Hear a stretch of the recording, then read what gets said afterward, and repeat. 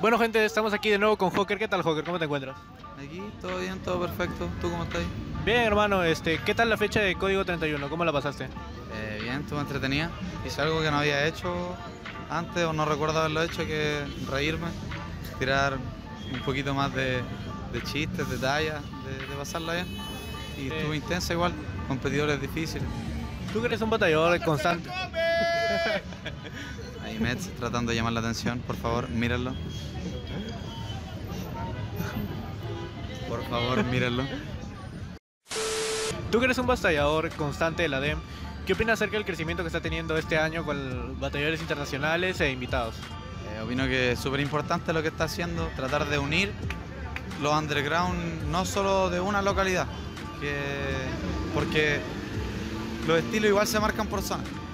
Aquí hay un estilo muy peculiar, en Chile hay un estilo muy peculiar, en Argentina, en Perú, en Bolivia, en todos los países hay un estilo diferente. Y esto de que lo esté, entre comillas, tratando de, de unir, eh, encuentro que es súper bueno y sube el nivel también. Con respecto a tu batalla de exhibición, el FMS, ¿cómo te sentiste en, en esta? ¿Te sentiste cómodo en FMS en el formato? Sí, me sentí cómodo, igual no lo hice como suelo hacerlo. Por ejemplo, el hard mode eh, lo, lo distribuí en puros 2x2. Por lo general lo hago más de hilación de, palabras. Eh, pero me sentí cómodo, descubrí muchas cosas que, que no había visto acerca de FMS. Y eso, ¿Estás buscando el, es- eres uno de los primeros en la tabla? ¿Estás buscando el ascenso o simplemente estás batallando y dejando su- y sumando puntos porque sí? Estoy rapeando nomás, me gusta rapear. Si un torneo tiene puntos para FMS, genial. Si no, genial. O sea, no es un tema importante para mí, aunque sí me gustaría estar dentro de la, de la selección. Ahora hace poco, después de la, de la exhibición, como que me di cuenta que sí me gustaría estar en la liga, pero no he buscado puntos. No he ido a ningún torneo porque tenga puntos, sino que por competir. Eh, ¿Tus próximas internacionales cuáles son? Los próximos eventos. Eh, aquí en Perú se me viene Kingdom el 23, me quedo igual a, a Código, voy a PVR Guacho este domingo, Em, tengo NFC si no me equivoco, aquí en Perú también, y en final en diciembre. Se vienen igual varios eventos, no, ahora en este momento no recuerdo más, pero se vienen varios eventos fuertes. Eh, bueno, este, ¿qué opinas acerca de que del tema de teorema de que a un freestyler se le quite oportunidades como es Red Bull o FMS por un tema por un tema más allá personal? Eh, yo opino que mm, es un tema igual difícil de tocar, pero cada organización sabe qué es lo que hacer. O sea, si, si ellos quieren, aunque suene feo, cagarse en quién logró campeonar y después sacarlo, eh, son ellos quien- quienes tienen el poder de decisión. Yo creo que está mal porque eh, él consiguió el logro de, de ser el clasificado o el, el representante y que lo saquen por un tema que es totalmente externo a su, a su competencia. Encuentro que está mal, pero me imagino que cada organización tiene su, su razón. Y ya para cerrar, ¿cuál sería tu podio para la internacional de Red Bull? No sé quiénes son los competidores que van a la internacional de Red Bull. Sé que va Joker por reemplazo a Teorema y es un competidor muy bueno. Siento que puede ser una sorpresa y siento que siento que él puede estar en el podio. Si tiene un buen día, fácilmente puede estar en el podio. Vale, muchas gracias, hermano. ¿Algo más que decir? Eh, muchas gracias a toda la gente de Perú. Eh, esta es la cuarta vez que vengo y siempre me han recibido de una manera increíble. Me llevo pura- puros buenos momentos. Gracias, hermano. Eh, bueno, gente de Rapstyle, estamos aquí con Cayu. ¿Qué tal, Cayu? Bien, bien, ¿y tú todo bien? Todo bien, hermano. ¿Qué tal? ¿Cómo has visto la escena del freestyle peruano, los colectivos? Eh, súper activo, súper motivado. De hecho, es raro para mí ver que hayan batallas día a semana. O sea, en Chile ocurre, pero es súper reducido. O sea, ocurre, pero por lo general estamos todos estudiando. O como que nos da un poco de flojera ir a una batalla después del colegio un día lunes. Eh, pero lo que yo he visto acá es que todos los días hacen cosas. Entonces eso quiere decir de que hay una gran motivación y una, una gran- un gran interés de los freestylers, que es lo más importante, por el freestyle. Y, y poco a poco eso se va a ir instalando en el público. O sea, ¿te parece raro que, por ejemplo, acá en Perú un lunes haya como 15 colectivos, 10 colectivos? Eh, no en Perú, sino que lo que yo he vivido como en viajar a otros países, ¿entiendes? Por ejemplo, estuve en Argentina y tuve que esperar como hasta un fin de semana, como pasa en Chile, para ir a un colectivo, como se le dice acá. Hablando de colectivos, ya hemos visto la gran acogida que ha tenido la DEM, que está yendo muchísima gente. ¿Cómo se maneja estas grandes cantidades de gente para temas de filtros o temas de las fechas? Eh, bueno, lo que nosotros hacemos primero, eh, al principio éramos como 100 inscritos por fecha, ya después se expandió a más de 300 personas por fecha. Entonces cuando empezamos a hacer más de 300, justo vino Juan Sin a lo que es DEM, nos dio un pequeño consejo, lo tomamos y ahora hacemos en vez de dos grupos, de grupo A, grupo B, hacemos grupo C. Cuando un evento crece, obviamente que la organización debe adquirir una responsabilidad y un compromiso con la organización, valga la redundancia, eh, pero también los freestylers deben adquirir un compromiso, como por ejemplo ser puntuales y llegar a la hora de citación, para que no estemos obviamente hasta las 8 de la noche haciendo eh, filtros, o sea, igual sería una lata, ¿no? O sea, yo creo que lo normal sería como hacer una demo un viernes, todos los filtros y el sábado ya obviamente los octavos, pero tampoco es la idea, la idea es que sea un día donde las personas que aman el freestyle o no conocen el freestyle, digan voy a ir con mi hijo que le encanta tanto esto, a ver lo que es y lo que hacen los, los, jóvenes de hoy en día. O sea, hacen casi tres grupos de filtros separados. Sí, como tres grupos, aproximadamente de 100 freestylers. Eso depende de, de cómo esté el día, de cuántos inscritos hayan. Y bueno, hacemos algo medio peculiar, que es, que es como una pequeña maña de nosotros, que es como en cada grupo hay una modalidad distinta. O sea, en un grupo A te puede tocar un 4x4 libre, como en el grupo B un 30 segundos, un 12 cuartos, o en el grupo C eh, conceptos, temáticas, cosas así. Bueno, Keyu, este, ¿has visto los raperos acá, los nuevos raperos morbosos que hay acá? Eh, ayer, eh, la, la, verdad es que ayer fui a un colectivo y vi a un morboso que se llamaba Caquiña.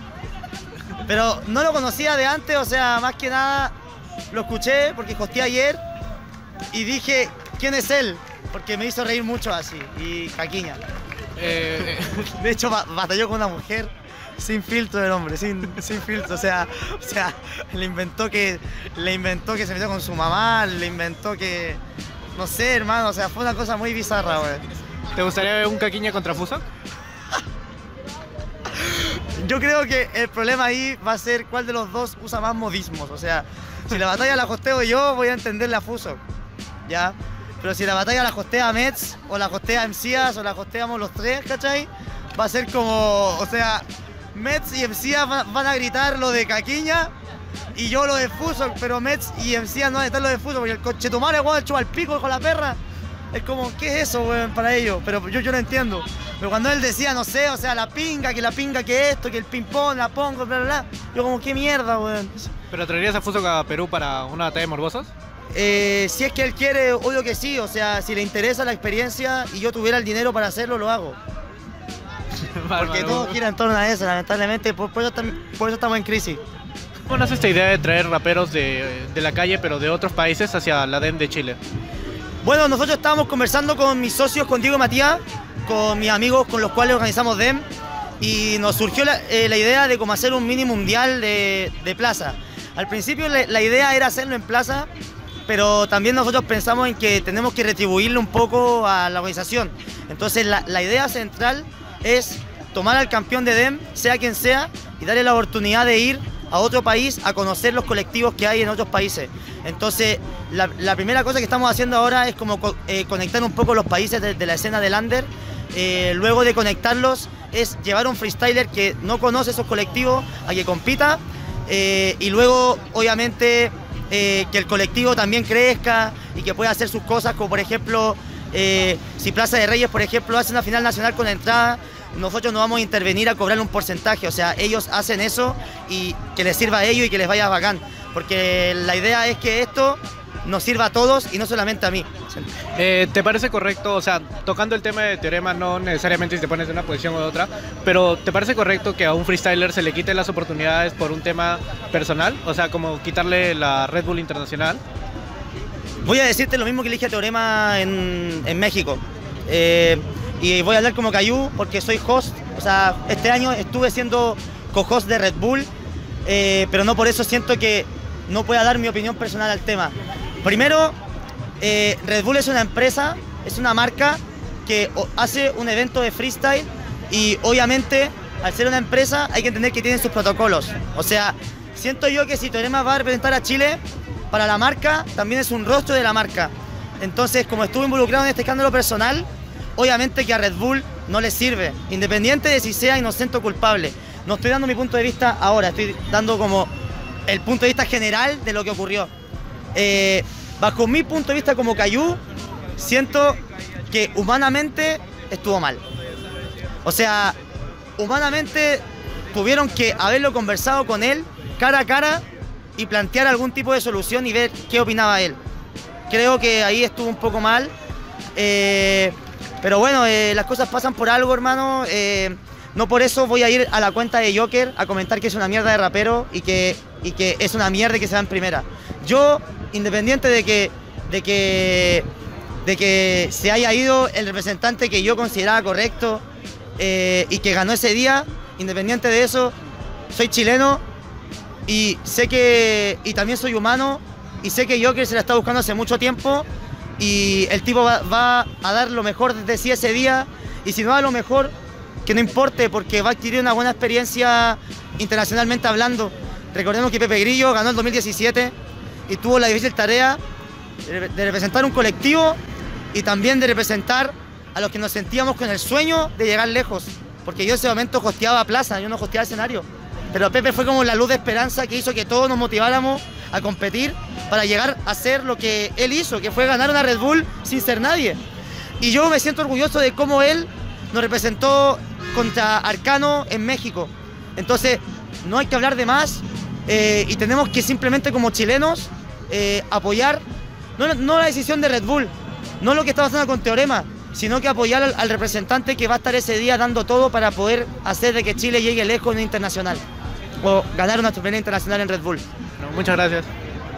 Gracias, Maído. Eh, ¿Algo más que decir? No, nada, eh, un saludo ahí para el colectivo Plaza de Reyes y Rap Style. Esta es una fecha con Plaza de Reyes, porque esto es Rap Style.